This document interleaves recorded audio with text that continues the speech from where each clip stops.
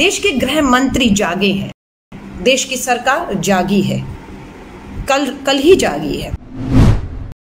चौदह जून को। जागना कब था? चौदह मार्च को उम्मीद कर रहे थे। लेकिन नहीं, आप चौदह मार्च को नहीं जागे। जब डॉक्टरों की जो कमेटियाँ थी, उसने रिपोर्ट में कहा कि दिल्ली बदतर हालात की तरफ़ बढ़ रही है। कुछ कीजिए कुछ कीजिए दिल्ली को आपने मौत के मुँह में झोंक दिया है। अब आप अपनी नींद से अमित शाह जी जाग रहे हैं। वायदा किया गया है कि दिल्ली को वेंटिलेटर 10 दिन में वायदे किए गए सिर्फ़ वायदे, ये वही वायदे हैं जो पिछले 80 दिनों से किए जा रहे हैं। जय हिंद साथियों, आप सभी का स्वागत है और खास रूप से चर्चा में फिर मैं कहूँगी दिल्ली वालों के लिए। मार्च, पहला मामला देश में आया जनवरी में। जी हाँ जनवरी में सबसे पहला कोरोना वायरस का मामला केरला में आया था। पहला मरीज़ भारत में जनवरी में। फरवरी 12 का आज भी दिन याद है। राहुल गांधी जी प्रेस कॉन्फ्रेंस करके कह रहे थे कि गंभीरता से इसे लीजिए, गंभीरता से लीजिए, टेस्ट कीजिए, खूब टेस्ट कर करिए पर किसी के कान पे जू नहीं देंगी फरवरी निकला, मार्च के एंड तक जब वो पूरी तरह से फुर्सत में आ गए अपने राजनीतिक कार्यक्रमों से तो मार्च के अंत में जाकर lockdown one lockdown two lockdown three lockdown four और अब लॉकडाउन फाइव और अनलॉक है लॉक है, नहीं है, समझ नहीं आ रही है। मामले भारत की राजधानी दिल्ली में लगभग लगभग बयालीस हज़ार पहुँच चुके हैं। देश के गृह मंत्री जागे हैं, देश की सरकार जागी है। कल कल ही जागी है, चौदह जून को। जागना कब था? चौदह मार्च को उम्मीद कर रहे थे, लेकिन नहीं, आप चौदह मार्च को नहीं जागे मार्च के बाद अप्रैल और मई में भी नहीं जागे आप 14 जून को जागते हैं और दिल्ली के मुख्यमंत्री की और एलजी की गृह मंत्री जो है, वो मीटिंग बुलाते हैं। कब? जब सब कुछ हाथ से निकल गया। जब डॉक्टरों की जो कमेटियाँ थी, उसने रिपोर्ट में कहा कि दिल्ली बदतर हालात की तरफ़ बढ़ रही है। कुछ कीजिए कुछ कीजिए दिल्ली के अंदर 31 जुलाई तक पाँच लाख मामले हो जाएँगे। अस्सी हज़ार बिस्तर, दस हज़ार वेंटिलेटर। रोज़ाना कम से कम आपको तीस हज़ार टेस्ट करने होंगे दिल्ली बुरी हालत में। लेकिन कान पे जू नहीं रहेंगी बीजेपी और आम आदमी पार्टी की सरकारों के। कान में जू नहीं रहेंगी। पहले कहते थे, हमें मिलकर कोरोना से लड़ना है और कोरोना को हराना है। लेकिन जब सरकारें हारती हुई दिखी तो बोला, आप कोरोना के साथ जीना सीख लीजिए। अरे शर्म कीजिए कुछ। शर्म कीजिए। गुमराह किया आपने दिल्ली और देश के लोगों को। पहले कहा कि महाभारत का युद्ध 18 दिनों में जीता गया था। लॉकडाउन वन का प्रधानमंत्री जी का भाषण कि 21 दिन में हमें ये युद्ध जीत लेंगे। हमें लगा कि ठीक है, प्रधानमंत्री जी के सब जानते हैं कि 21 दिन में लॉकडाउन वन में हम ये युद्ध जीत सकते हैं। लेकिन नहीं lockdown one, two, three, four के बाद पता लगा ये युद्ध जीतने की बजाय कोरोना वायरस को हराने की बजाय सरकारों ने हथियार डाल दिए और अब हमें कह रहे हैं कि इसके साथ अब जीना सीख लीजिए। दिल्ली के मुख्यमंत्री पूरी तरह से हथियार डाल चुके हैं। कल की एलजी की, गृह मंत्री की चौदह जून को जो मीटिंग हुई, उसमें साफ़ पता लगा पूरी तरह से हथियार डाल दिए हैं और देश के गृह मंत्री भी उनकी प्राथमिकता क्या थी? याद रखिए, देश के गृह मंत्री अमित शाह जी की प्राथमिकता क्या थी? उनकी पूरी प्राथमिकता पूरे इस दौरान, जब lockdown one two three four रहा, पिछले सत्तर, अस्सी दिनों में अपना राजनीति ही थी। बंगाल और बिहार के चुनाव के मद्देनजर उन्होंने जन संवाद कार्यक्रम एलईडी लगा लगा के सत्तर हज़ार फुल राजनीति की, फुल भाषण किए। कोई मीटिंग कोई संयोग किसी देश की सरकार को या दिल्ली केंद्र शासित को नहीं किया उन्होंने। सिर्फ़ राजनीति की। नींद से जागते हैं। चौदह जून को कल जागे और एलजी और मुख्यमंत्री को बुलाकर मीटिंग की। और आज सर्वदलीय बैठक बुलाई और उठ के दिल्ली सरकार के एलएनजेपी के अस्पताल में पहुँच गए। बहुत अच्छा किया। धन्यवाद आपका कि आप नींद से जागे। देर आए, दुरुस्त आए कि नहीं आए? ये समय बताएगा अब। ये समय बताएगा कि जब दिल्ली को आपने मौत के मुँह में झोंक दिया है, अब आप अपनी नींद से अमित शाह जी जाग रहे हैं। अब आप देर आए, दुरुस्त आए, वो समय बताएगा। आप एल अस्पताल पहुँचे, आपने ये भी आदेश दिया कि सारे अब अस्पतालों में आप सीसीटी कैमरा लगवा देंगे। आपने कहा डॉक्टर पॉल की कमेटी बिठा रहे हैं कि जो टेस्ट है, अगर महाराष्ट्र की सरकार, तेलंगाना की सरकार एक टेस्ट का बाईस रुपया ले रही है तो दिल्ली की सरकार आम गरीब आदमी से जब बेरोजगारी, महँगाई अपने चरम पर है, उसकी मजबूरी का फ़ायदा उठा के दिल्ली की सरकार ने रेट चार हज़ार पाँच सौ रुपए क्यों तय किया हुआ है? आज तक? जबकि वही टेस्ट अगर आप देखेंगे, महाराष्ट्र और तेलंगाना की सरकार मात्र 2200 में कर रही है। कुछ तो कारण होगा। अगर आप दलाली खा रहे हैं तो बता दीजिए दिल्ली की सरकार को, जब वहाँ बाईस में तो आपके पास पैंतालीस में क्यों है? और अभी ये भी बताया गया कि कोरियन एक कंपनी है। अभी अभी वो बता रही है, हम ये टेस्ट चार पाँच सौ रुपए में भी कर सकते हैं। अब भी पता चल रहा है कि लॉकडाउन कितने दिनों तक आप क्यों इतनी बेरोजगारी और महँगाई में आम आदमी को मार मार दे रहे और पैंतालीस का टेस्ट आप बता रहे चार पाँच रुपए में भी हो सकता है? अब ये अस्पतालों के ऊपर कल आदेश दिया केजरीवाल सरकार ने कि 10 से 50 जिस निजी नर्सिंग होम, निजी नर्सिंग होम छोटे मोटे जो मोहल्लों में चलते हैं, उनके पास अगर 10 से 50 बेड हैं, उनको भी दिल्ली सरकार टेक ओवर कर रही है। 24 घंटे के अंदर अपने ही फैसले को वापस ले लिया दिल्ली सरकार ने। क्यों वापस ले लिया? क्या निजी सरकारी नर्सिंग होम से, निजी नर्सिंग होम से आपकी बातचीत नहीं हुई थी, सिर्फ़ आपने उनके ऊपर अपना फरमान थोपा था और उनके दबाव में आने के बाद आपने अपना ही आदेश दिल्ली सरकार ने वापस ले लिया कि नहीं नहीं, अब इनको छोड़ देते हैं? देश के गृह मंत्री आज आए हैं, क्योंकि उन्हें भी पता लग चुका है कि दिल्ली की केजरीवाल सरकार ने हथियार डाल दिया, हार मान ली है। जो कोरोना को हराने की बात करते थे, अब कोरोना के साथ जीने की बात करने लग गए हैं। तो देश के गृह मंत्री कूदते हैं। लेकिन उम्मीद कर रहे थे कि यहाँ राजनीति नहीं होगी। अब अब तो गंभीरता आप दिखाएँगे, लेकिन पता लगता है कि दिल्ली के, जब देश के गृह मंत्री, दिल्ली सरकार के एल अस्पताल का दौरा करते हैं, तब दिल्ली के मुख्यमंत्री साथ नहीं है उनके। तब दिल्ली के उप मुख्यमंत्री भी उनके साथ में नहीं है। तब दिल्ली के स्वास्थ्य मंत्री भी उनके साथ नहीं है। और उम्मीद की जाती है कि देश के स्वास्थ्य मंत्री तो कम से कम जिन अस्पताल, जो अस्पताल देश के गृह मंत्री डॉक्टर हर्षवर्धन के अधीन आते हैं, उन्हीं के गृह मंत्री जब विज़िट करने जाएँगे तो वो साथ में होंगे। वो भी साथ में नहीं थे। तो ऐसा लगा कहीं ये एक प्रचार ही तो नहीं था, एक फ़ोटो ऑपी तो नहीं था। अब ये चीज़ तो समय बताएगा, क्योंकि हमें तो ऐसे ही लग रहा है कि राजनीति खत्म नहीं होगी इन दोनों के बीच की, आम आदमी और बीजेपी के बीच में। राजनीति और हावी होने वाली है। एकजुटता दिखती जब देश के गृह मंत्री, दिल्ली का, एशिया का सबसे बड़ा अस्पताल एलएनजेपी, जिसकी बदतर तस्वीरें सुप्रीम कोर्ट ने देखी और फटकार लगाई दोनों सरकारों को, कि मज़ाक बनाकर रखा हुआ है आप लोगों ने। उस अस्पताल के आप दौरे पर जाते हैं, दिल्ली का मुख्यमंत्री, दिल्ली के एलजी, दिल्ली के उप मुख्यमंत्री दिल्ली के, ये लोग नहीं होते, स्वास्थ्य मंत्री भी नहीं होते, फ़ोटो ऑप होता है और चले जाते हैं।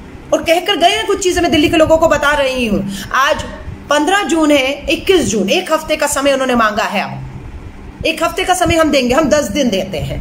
आज अगर 15 जून है तो हम वापस बात करेंगे अब 25 जून को 10 दिन के बाद, ये देखने के लिए कि देश के गृह मंत्री ने, एलजी ने और मुख्यमंत्री ने जो मीटिंगें की हैं, जो निर्देश दिए हैं, जो संयोग की मदद की बात अब कर रहे हैं, जब हाथ से सब निकल चुका है, वो भी होता है या वो भी नहीं होता? क्या कहा ध्यान से सुनिएगा। इन्होंने कहा है कि हम रेलवे से बात करके, देश के गृह मंत्री ने कहा रेलवे से बात करके 500 रेलवे कोच, आनंद विहार, जो हमारा रेलवे स्टेशन है, वहाँ पर 500 कोच खड़े करेंगे। और उन्हें पूरी तरह से हम लोग हर चीज़ से जो है इक्विप्ड करेंगे, उसमें सब सुविधाएँ दी जाएँगी। लेकिन मैं आपको हकीकत बता दूँ, ये पहली बार कोच को क्वारंटाइन में बदलने की बात या आइसोलेशन वार्ड में बदलने की बात नहीं हो रही है, पहले हो चुकी है। पचास करोड़ खर्च करके भारत सरकार पाँच हज़ार रेलवे के कोचेस को क्वारंटाइन आइसोलेशन होम में बदल चुकी है, लेकिन एक भी क्वारंटाइन का, एक भी मरीज़ उसमें नहीं गया, जिससे पचास हज़ार, पचास करोड़ रुपया और पाँच हज़ार ये जो इन्होंने तैयार किए थे, वो बर्बाद हो गए। अब दिल्ली के आनंद विहार रेलवे स्टेशन पे 500 की बात हो रही है। चिंताएँ जताई जा रही है कि मौसम बदल रहा है, भीषण गर्मी और बारिशों के बीच में। क्या ये रेलवे के कोच जो नॉन एसी हैं, क्या हाइजीन के तौर पर, क्या गर्मी और बारिश की मार झेलने पर, जो कोविड का मरीज़ अगर पॉजिटिव पाया जाता है, क्या वो जगह रेलवे का डिब्बा उसके लिए उसके लिए बेहतर होगा? ये मुझे नहीं मालूम है। लेकिन ये इनकी तैयारियाँ हैं। लेकिन देख लेते हैं कि 500 में आप कोचेज में आप ऑक्सीजन दे रहे हैं, आप डॉक्टर्स अवेलेबल करा पा रहे हैं, आप वेंटिलेटर रख पा रहे हैं, अगर ज़रूरत पड़ती है आइसोलेशन में भी, अगर आपको अस्सी हज़ार बिस्तर चाहिए ना, इसलिए उम्मीद करते हैं हम लोग। अमित शाह जी ने आज यकीन दिलाया है कि चार पाँच सौ, चार पाँच सौ दिल्ली में वेंटिलेटर है। दस, दिल्ली के पास अपने चार पाँच सौ वेंटिलेटर चाहिए, दस हज़ार। वायदा किया गया है कि दिल्ली को वेंटिलेटर 10 दिन में वायदे किए गए, सिर्फ़ वायदे, ये वही वायदे हैं जो पिछले 80 दिनों से किए जा रहे हैं। हर मीटिंग को अरविंद केजरीवाल जी आकर बताते रहे, बहुत शानदार मीटिंग रही। हम पूरे एक दूसरे से सहयोग कर रहे हैं। हम एक दूसरे के साथ काम कर रहे हैं, लेकिन फिर थोड़े दिन के बाद इनके प्रवक्ता टीवी पे आकर रोना धोना शुरू कर देते हैं। हमें तो समझ नहीं आती कि मुख्यमंत्री तो मीटिंग से बहुत गदगद होकर निकलते चाहे वो एलजी की मीटिंग हो, प्रधानमंत्री जी की मीटिंग हो गृह मंत्री की मीटिंग हो, बहुत खुश, गदगद की बहुत बड़ा सहयोग मिल रहा है। लेकिन आपके प्रवक्ता टीवी पे जाकर रोकते हैं कि पैसा नहीं है, वेंटिलेटर नहीं है, बेड नहीं मिल पा रहे हैं, मदद नहीं मिल पा रही है। समझ नहीं आता हो क्या रहा है? आज जब गृह मंत्री ने मीटिंग कॉल की, दिल्ली के मुख्यमंत्री गए, नहीं गए। दिल्ली के उप मुख्यमंत्री गए, नहीं गए। दिल्ली के स्वास्थ्य मंत्री को तो जाना चाहिए था, नहीं गए। इनके पार्टी के नेता पंकज गुप्ता जी और संजय सिंह जी जाते हैं। अच्छी बात है, चलिए, काम होने से मतलब है। लेकिन क्यों नहीं आप गए? यहीं से आप लोगों की गंभीरता भी दिखती है। मैं आप सभी से कहूँगी दिल्ली वालों को, आवाज़ उठाइए कि अगर कोरियन कंपनी कोविड टेस्ट 400-500 रुपए में कर सकती है तो उस टेस्ट को अभी तक तेलंगाना और महाराष्ट्र की सरकार ने बाईस सौ और दिल्ली ने आज भी पैंतालीस सौ क्यों रखा हुआ? सबसे पहले तो इसी की कीमतों को, जब तक कोरियन टेस्ट किट नहीं आ जाती आपके पास, तब तक जो किट दिल्ली में इस्तेमाल हो रही है, वही किट महाराष्ट्र में और वही किट तेलंगाना में इस्तेमाल हो रही है तो वहाँ बाईस सौ रुपया तो दिल्ली वालों से पैंतालीस सौ रुपया क्यों लिया जा रहा है? सबसे पहली मांग ये है। दूसरी मांग, टेस्टों को बढ़ाना होगा। अब अमित शाह जी ने कहा, ध्यान से सुनिएगा, दिल्ली के अंदर सुप्रीम कोर्ट ने कहा, आप तो केजरीवाल जी सात हज़ार टेस्ट कर रहे थे, आप पाँच हज़ार पे आ गए। आपको तो बढ़ाने चाहिए दस हज़ार कम से कम करने चाहिए थे, और आपने सात हज़ार से पाँच हज़ार कर दिए हैं। इसे बढ़ाइए। अब अमित शाह जी ने अपनी मीटिंग में पूरा टेक ओवर कर लिया। आप केजरीवाल हार गए, हार मान ली थक हार के घर बैठ गए हैं। अब जिस तरह से देश के गृह मंत्री आगे आए हैं, उससे साफ़ दिख रहा है कि पूरी दिल्ली की जब बद से बदतर हालात हाथ से निकल चुके हैं, देश के गृह मंत्री ने कमान अपने हाथ में ले ली है। हम उम्मीद करते हैं, क्या अब अब अब आप देखते हैं कितने कामयाब होंगे, क्योंकि बहुत चीज़ें हाथ से अब निकल चुकी हैं। अब ऐसे समय में टेस्ट, अमित शाह जी ने कहा है, हर रोज हर रोज बीस हज़ार टेस्ट, क्योंकि उन्होंने कहा टेस्ट दुगने होने चाहिए। यानी कि दिल्ली में दस हज़ार टेस्ट होने चाहिए थे, वो अब दुगने करेंगे, कल से दुगने करेंगे, यानी कि कल और परसों रोज़ाना बीस हज़ार बीस हज़ार टेस्ट होने चाहिए। यानी कि दो दिन में, अगले दो दिन में, तीन दिन में हमें चालीस हज़ार लोगों के टेस्ट हो चुके होंगे। ये हम आंकड़े में चेक करेंगे कि कितने लोगों के क्या चालीस हज़ार के टेस्ट अगले दिन में हुए या नहीं हुए उसमें से कितने पॉजिटिव आए। पहली बात याद रखिएगा, कीमतों का याद रखिएगा। कीमतें आपको नीचे करवाने का दबाव लगातार बनाना होगा, क्योंकि आज भी गरीब आदमी के लिए टेस्ट करवाना, इलाज पाना जो है, जब हालात अभी इतने हालात नहीं पहुँचे, बिस्तर खाली है तो भी नहीं इलाज मिल पा रहा है। ध्यान रखिएगा, ये 500 कोच हमें मिल जाते हैं, इसमें ऑक्सीजन वेंटिलेटर जो भी सुविधाएँ होनी है, वो दी जाती हैं, या सिर्फ़ वो भी एक कोरा बात की जाती है। डॉक्टर पॉल की अध्यक्षता में गृह मंत्री ने कहा, एक कमेटी का गठन किया जा रहा है, वो ये कमेटी सुनिश्चित करेगी कि निजी अस्पताल जो हैं, गरीब और आम आदमी को 60 प्रतिशत कम रेट पर बिस्तर उपलब्ध कराएँगे। अब हमें ये भी देखना है, क्योंकि अभी खबर आई है तीरथ राम अस्पताल में एक महिला ने अपना मंगलसूत्र गिरवी रखा कहीं पर और अपने जेवरात गिरवी रखे तो एक लाख रुपया लेकर तीरथ राम अस्पताल दिल्ली के अंदर है। वहाँ उसके बेटे ने बताया है कि उसकी माँ को एडमिट किया गया। देख रहे हैं, ये भी सच्चाई है और ये भाजपाई आम आदमी वाले कहते हैं, ये तो अपवाद है, एक आधा केस है। एक आधे को बिस्तर नहीं मिल रहा, एक आधे को शमशान घाट में वेटिंग मिल गया। कोई बात नहीं, चलता है, माफ़ी चाहूँगी। ये लोग, ये मरने वाला माफ़ी चाहूँगी। आपके लिए आम बात होगी, एक अपवाद होगा, एक आधा केस हो गया, देख लो, भूल जाओ, क्यों चर्चा कर रहे हो? शर्म आनी चाहिए अगर आप ऐसे करें एक एक ज़िंदगी कीमत है, जिसके घर के लोग इस महामारी में जान से हद हो पा रहे और जिनकी जिंदगियाँ बदलने वाली हैं, क्योंकि कहीं पर एक परिवार को चलाने वाला आदमी चला गया है और पीछे अपनी अपनी बीवी और बच्चों को छोड़ गया उस परिवार से पूछे कि उस एक मौत से उस परिवार पे कितना असर हुआ है। और आप कहते हैं, अपवाद है अपवाद है। शर्म कीजिए, शर्म आनी चाहिए, माफ़ी मांगिए और कहिए उस परिवार की जो मदद आप कर पाएँगे, वो मदद केंद्र में और दिल्ली में बैठी सरकार को करनी है। अब आप सुनिश्चित करिएगा, मैं आपको दोबारा जाते जाते कह रही हूँ, दिल्ली के लोगों को खासतौर से कह रही हूँ, आप मेरी फेसबुक इंस्टाग्राम ट्विटर के ऊपर। अगर आपका कोविड टेस्ट करवाने में परेशानी हो रही है, अगर आपके आपसे कोविड टेस्ट कराने की मोटी कीमत वसूली जा रही है, अगर आपके टेस्ट के बाद आपको रिज़ल्ट देने में देरी की जा रही है, पॉजिटिव है और आपको अस्पताल में बिस्तर नहीं मिल रहा, आप निजी अस्पताल में जा रहे हैं तो आपसे मोटा आपको जो है उसके लिए एडवांस पेमेंट देने को कहा जा रहा है तो मैं आपसे निवेदन करती हूँ अलका और पूरी कांग्रेस आपके साथ खड़ी है। अपने नाम, अपने पते के साथ, अपनी बात को रखकर छोटा सा video at the rate of L A M B A L K A at the rate of Lamba Alka मेरा ट्विटर हैंडल है। आप मुझे टैग कर सकते हैं, आप मेरे फेसबुक पे अपना वीडियो डाल सकते हैं। मैं आपको यकीन दिलाती हूँ, मुझे उठ कर भी आपके साथ चलना पड़ा, जो सरकार ने निर्देश दिए, जो आदेश दिए हैं, जो वायदे किए हैं। क्योंकि हमने देखा है कि पिछले पूरे समय में इनके वायदे खोखले निकले हैं। इन्होंने झूठे खोखले वायदे किए और झूठा आश्वासन दिया। अगर ये सच होते तो आज हालात दिल्ली के इतने बदतर नहीं होते कि चालीस हज़ार, पैंतालीस हज़ार पे आंकड़ा पहुँच चुका है। पंद्रह सौ के करीब लोग जानों से हद हो चुके हैं और अभी ये पाँच लाख पहुंचेगा। अस्सी हज़ार बिस्तर चाहिए और आज भी दस और बीस हज़ार बिस्तर से ज़्यादा इनके पास नहीं है। दस हज़ार वेंटिलेटर चाहिए और मार धाड़ भी कर लेंगे। एक दो हज़ार वेंटिलेटर से ऊपर ये नहीं पहुँच पा रहे हैं। टेस्ट रोज़ाना के बीस हज़ार का वायदा किया है और कह रहे हैं, अमित शाह जी की हम अगले दो दिन में डबल करेंगे और उसके बाद हम तीन गुना टेस्ट कर देंगे. तीन गुना का मतलब है तीस हज़ार प्रतिदिन। और यानी कि आपके महीने में देखो तो कितने टेस्ट हो जाने चाहिए? रोज के तीस हज़ार और तीस दिन के अंदर लगभग लगभग मैं मानू तो नौ लाख। कितना बनता है? आप कैलकुलेट करिए इसको कि रोज़ाना तीस हज़ार है तो तीन दिन के अंदर लगभग एक लाख हो गया। तो नौ लाख के करीब एक महीने में रोज आना तीस हज़ार के प्रति नौ लाख लोगों के टेस्ट होने चाहिए। लेकिन अब देखते हैं।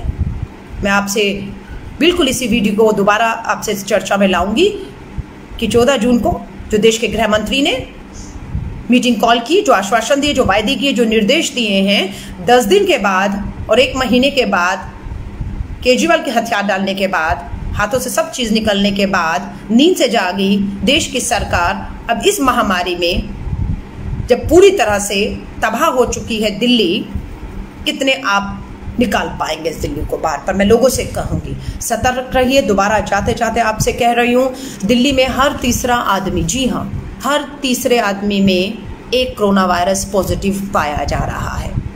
और आने वाले समय में हर दूसरे आदमी में, हर दूसरे आदमी में एक आदमी जो है, वो कोरोना वायरस पॉजिटिव पाया जाएगा। मैं फिर दोबारा दोहरा रही हूँ, जब अस्पतालों में बिस्तर नहीं है, तभी आप रेल के कोच को, डब्बों को आप कहते हो हम बदल रहे तो आप समझ लीजिए हालात कितने बदतर होने वाले और इनकी तैयारियाँ नहीं है। केजरीवाल जी ने कहा 10 से 50 हॉस्पिटल वाले जो है नर्सिंग होम, वो अपने आप बिस्तरों को बदल दीजिए। फिर अपना ही उन्होंने फैसला आज वापस ले लिया है और केजरीवाल पूरी तरह से अब गायब हो चुके हैं। पूरी तरह से हथियार डाल के हार मान चुके हैं और देश के गृह मंत्री ने कमान अपने हाथ में ले ली और पूरी दिल्ली रेड जोन में। जी हाँ ये मैनी केरी आईसीएमआर कहता है कि जो हालात बदतर हो रहे हैं, अगर इस तादाद से बढ़ रहे हैं तो पूरी की पूरी दिल्ली रेड जोन में जा रही है और फिर उन लोगों से कह रही हूँ जो भारत की राजधानी दिल्ली में उम्मीद से देख रहे हैं कि कहीं इलाज नहीं मिलेगा तो राजधानी दिल्ली में आपको मिलेगा। तो मैं ये दोबारा मात्र निराशा के अलावा कुछ नहीं लगेगा। मैं आप सभी लोगों को दोबारा निवेदन करना चाहती हूँ, घरों में रहिए। घरों में रहिए, लगातार हाथ धोते रहिए, बाहर ज़रूरत ना हो तो मत जाइए मास्क का इस्तेमाल करिए हैंड ग्लव्स का इस्तेमाल करिए। अपने आप को सोशल डिस्टेंसिंग का आप जितना भी ध्यान रख सके रख सके।